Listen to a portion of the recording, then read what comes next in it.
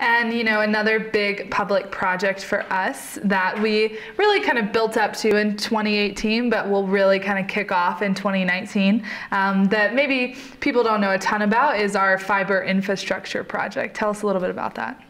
Uh, you know, we could spend a whole a Buzz episode yes, talking about fiber, and I'm sure we will as, as we move farther into uh, 2019. But you know, this is another one of those things that you know, we just talked about water as a utility and how important it is to the community.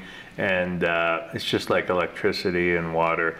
Well, the ability for people to connect, the ability to get internet, um, and, and good internet at a high speed and, you know, and not be bogged down every time we have a busy weekend it is something that I think even our community says that's an important utility and an amenity that this town needs. And so the shift of what you're starting to see is you're starting to see municipalities say, you know, we're going to lay the backbone of fiber. We're going to mm-hmm. put this in the ground and we're going to make that available uh, to the community. And so the town has really, you know, taken that stance and said, we're going to go in and invest money in laying a broadband uh, a fiber cable throughout mm -hmm. kind of around the core of town. We're calling that the kind of the backbone, and then off of that off of that circle, if you will, will be lines that go up into neighborhoods,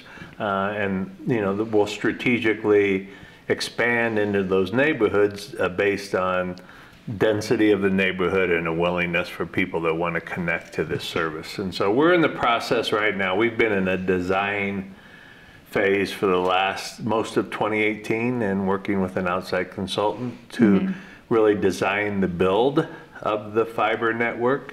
Uh, now we are in the process of identifying um, service providers that will, it, it's going to be what's called an open access network. So you may have you know, two or more service providers that any customer could reach out to based on what they offer and the pricing, et cetera. But, you know, the outcome that we're looking for, and we our hope is to have some neighborhoods and homes that are able to go live by the end of 2019, is that you could get, you know, up to a gig of service.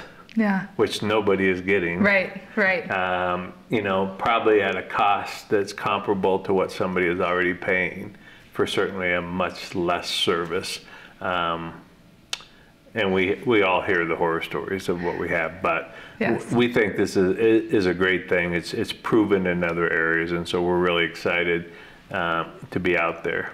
Yeah, and you're right. We will have to do a whole segment on it because there is a lot of finer points and questions and um, maybe some myths to be dispelled. But, um, you know, I think it is, like you said, it, it is like water and it's kind of setting ourselves up for the future and making sure that as technology grows, we are, you know, keeping right up with everything that happens. Yeah. And, and it'll be, it, it'll be a disruption, right? Anytime right. you have construction, it's a, it's a disruption. But generally, uh, as much as possible, we'll be off of a roadway. We'll try, we will bury the cable. Mm -hmm. uh, it's really a conduit, uh, a conduit pipe that we bury. Uh, and it's down a couple of feet underground, and then the cable is pulled through that conduit.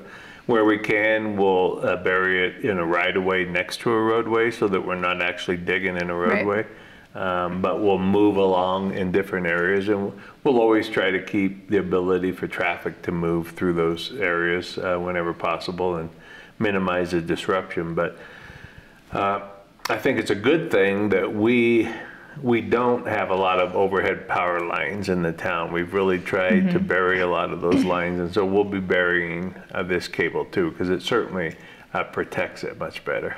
Definitely.